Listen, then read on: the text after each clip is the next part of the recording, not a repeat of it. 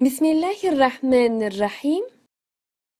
Yabancı Dil Bilgisi Seviye Tespit Sınavı 2018 İlkbahar Dönemi Dördüncü soru Yu'tine bize veriyor.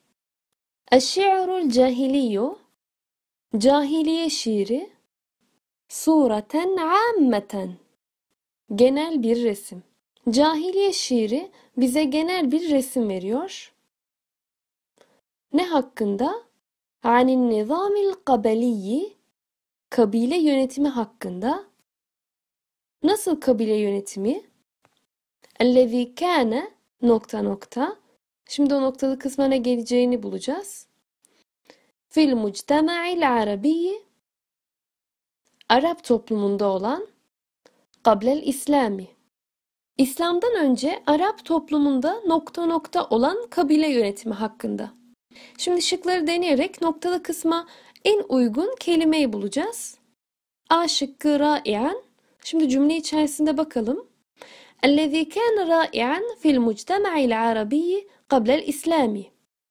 İslam'dan önce Arap toplumunda güzel, harika olan kabile yönetimi hakkında pek uygun olmadı. B şıkkı lazi'an yakıcı demek.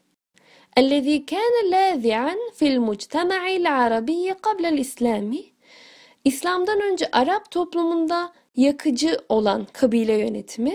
Hayır. C şıkkı saiden yaygın demek.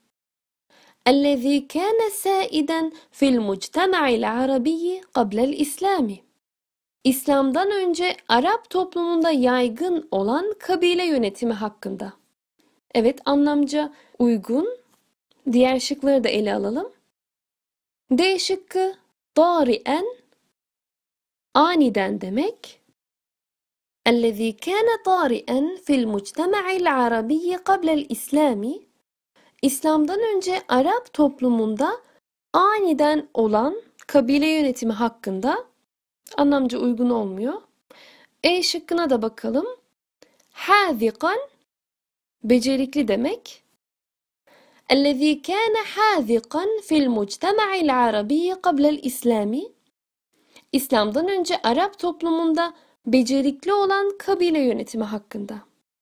Görüldüğü üzere anlamca en uygun şık C seçeneği yaygın demek. Doğru cevap C şıkkı.